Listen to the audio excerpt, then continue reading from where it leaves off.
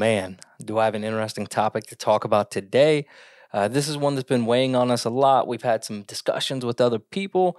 Regardless, I think this is going to be um, one topic that's about as controversial as Hulk 181 and Hulk 180 is. So hit the like button while the intro plays. Let's talk about it.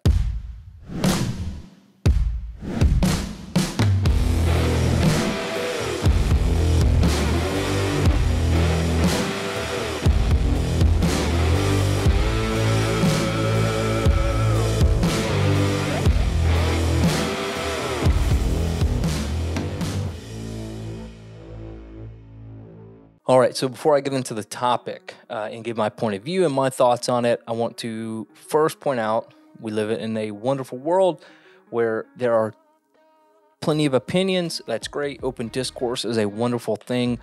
Positive open discourse is a great thing. So don't be mad with my opinion, whether you believe one way or another. I'd love to hear yours down in the comment before or after. Let's talk about it. Let's discuss it. Let's be positive about it. Should local comic shops raise prices on the key books day one. It's a new comic book day. Comic shop opens 12 o'clock. You walk in, the hot book for the week is now $9.99. Is that wrong? Well, maybe, maybe not. So here's my thoughts on it. If you have a pull list, or you pre order, or you FOC, whatever it is you want to call it, if you've discussed with your local comic shop, you want X number of copies of that hot book, and they're in your pull list for cover price. That's the way it should be. If that comic shop owner takes your pull, jacks everything up past issue, you know, one copy, even though you FOC'd or you pre-ordered, that's an issue. Now, that's my opinion. Another scenario: noon, new comic book day. Walk into your shop, oh, Star Wars High Republic number one sitting on the shelf.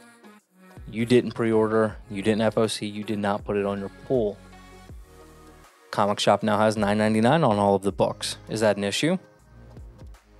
Or maybe it's $20.99 because that's what uh, it's, it's currently going for. Is that a problem? In my opinion, no. And I'll tell you why. These local comic shops, big or small, they have an overhead they have a lot more uh, at risk from a monetary standpoint than we do as collectors. So if this was a big hot book for you that week, pre-order it, put it on your you know FOC it, whatever. And if you don't know what that is, uh, we have some videos talking about FOC and pre-orders if you're new to comic book collecting. But for a comic shop to put the comic up there for $3.99, and then you have people that will walk in and buy every single issue off the shelf for cover price, turn around, go put it on Facebook groups, eBay, Instagram for three, four, five, six times the price, and then sell it the same day, what's the difference? I would rather the money to go to my local comic shop to be able to maintain uh, their their their ability, their livelihood, uh, the ability to fund my hobby, to to have somewhere safe to go talk about comics and and somewhere fun to go hang out with on the weekends and people uh, who enjoy the same things I do.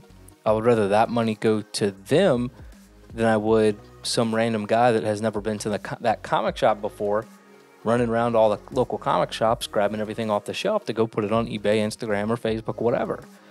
So that's my opinion on it. Um, I think a lot of people share a similar opinion on it that as long as you're taking care of your pull list customers, sure, go ahead and put that 999 cover price on it, you know, a sticker on it.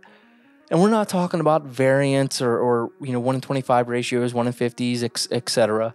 Obviously, those are meant to help support the local comic shop in that way. But, you know, I, I thought pretty hard about this. You know, at, at, first I was like, man, this is insane. Why would you do that? You're getting the books first day. They shouldn't be priced up, blah, blah, you know. And I'm like, and the more I thought about it, why, why shouldn't they? Um, and again, this is just a conversation and thinking out loud about it, but think about it if you're a business.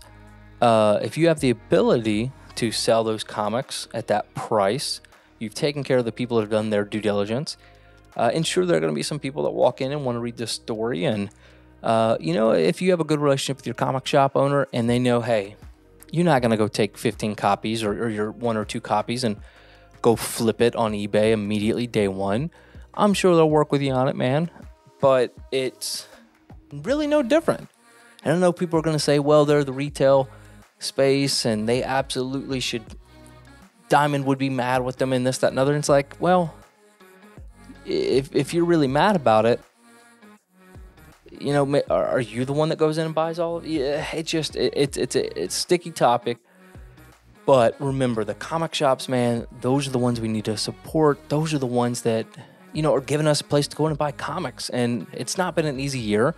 Uh, the speculation trend is just booming. Um, so absolutely, man, if it's, you know, Star Wars High Republic number one, comic shops are getting calls from, calls from people they've never even spoken to.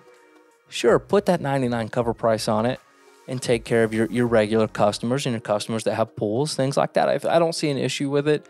Um, I do get some of the counter arguments, that's fine. But I think from a comic shop standpoint, you've got to understand, I think it's okay.